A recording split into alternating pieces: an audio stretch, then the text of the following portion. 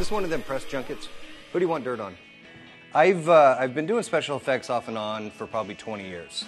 And uh, one of the favorite shows that always comes back to mind is Batman and Robin. Um, we created a 17 foot orchid that opened up that Uma Thurman was in. And uh, I sat with a couple other friends of mine below this for about two weeks in a dark cave. That was fun. But while most inventors would put their ideas on paper, Terry keeps them all in his head. I see visually in my head the whole thing assembled, so I know how things are supposed to line up.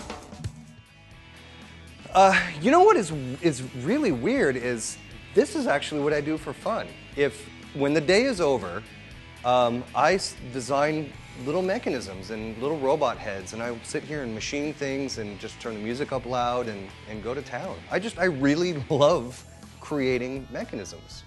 With the rest of the team gone for the day, Terry's taken it upon himself to get caught up. So he pulls a late one, hoping to get one robot skeleton done by the time the team arrives in the morning.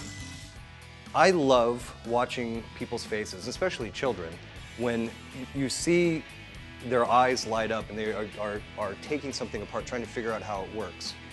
We had one of the builds that we had done on the show was um, boxing robots. When everything was said and done and the, the fight had been called, everything was done, a gentleman had come up to me and said, My son wants to hug one of the robots. And I said, Let me turn everything off. So we shut all the systems down. And it's a little five year old gets up on stage and starts hugging on the robot's leg and said, I love robots and I want to make robots.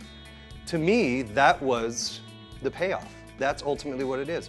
If whatever we create may be, you know, completely whimsical or, or fantasy driven, if somebody in, you know, the middle of nowhere watches the program and says, that gives me a great idea to create XYZ, which may actually help society, my, then my job is done.